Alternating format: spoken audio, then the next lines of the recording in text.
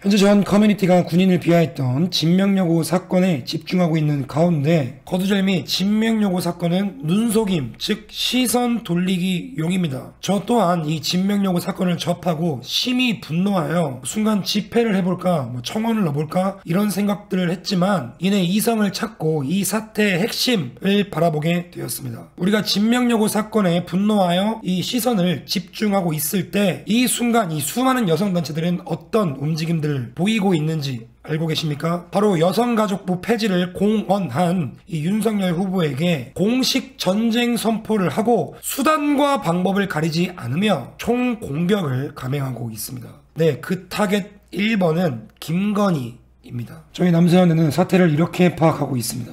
페이스북에 한 여성의 글 하나가 올라옵니다. 정용진 잡고 김건희 잡고 윤석열 잡고 확실하게 묻어 버립시다. 김건희 다음은 너다. 그 이후 또 하나의 글이 올라오게 되는데 김건희 7시간 녹취 파일 공개 김건희를 수사하라라는 글이 올라오죠. 저희 남성연대는 이 여성의 프로필에 들어가 보았습니다. 한국 여성 지도자 연합 인천 부평구 회장. 이 한국 여성 지도자 연합이란 단체는 어떤 단체일까요? 저희 남성연대의 조사 결과 이렇게 기업 정보를 입수할 수 있었습니다. 뒤이어 아래 주소를 구글링 해본 결과 이런 홈페이지 주소까지 얻을 수 있었죠. 보이십니까? 여기 적혀 있는 여성 가족부라는 글씨. 이뿐만 아닙니다. 저희 남사연대는 더욱 심도 있는 조사를 통하여 이 김건희를 묻어버리자라는 글을 쓴 한국 여성 지도자 연합이 여성가족부 산하기관 그리고 여성가족부 새로 일하기 센터 지정 기관임을 밝혀냈습니다.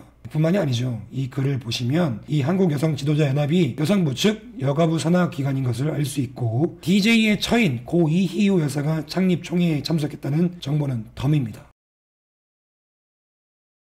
다시 한번 말씀드립니다. 1번 진명력으로 눈을 돌려놓고 이 이런 식으로 뉴스 기사의 좌표를 탁 찍은 후 베스트 댓글 작업 김건희 공격. 3 김건희 물고 늘어져서 윤석열 후보 낙선시키고 4 여성가족부 폐지가 아닌 강 화라는 결과를 도출해내려는 영악한 전략 전술입니다. 저들은 여가부 폐지가 실현되는 즉시 그들의 밥줄이 끊길 절명의 위기에 놓여 있습니다. 여러분 저는 24시간 이집만 생각하는 프로죠. 이 사태는 프로의 눈으로 건조하게 바라보는 시선이고 이거는 절대로 화력 분산이 되어선 안 될 일입니다. 제가 언제 틀린 적 있었습니까? 없습니다. 수많은 프레임 공작질에도 여러분들 또한 저를 믿어주시고 흔들리지 않고 지지해 주셨기에 지금 이 자리에 올 수 있게 되었고 페미니스트들과 맞서 싸울 수 있었습니다. 그리고 지금의 남성론대가 있을 수 있었습니다. 지금 이 상황 2판 4판 공사판입니다. 목숨 걸고 이 프레임 전쟁에서 승리하여 반드시 여성가족부 폐지라는 대업을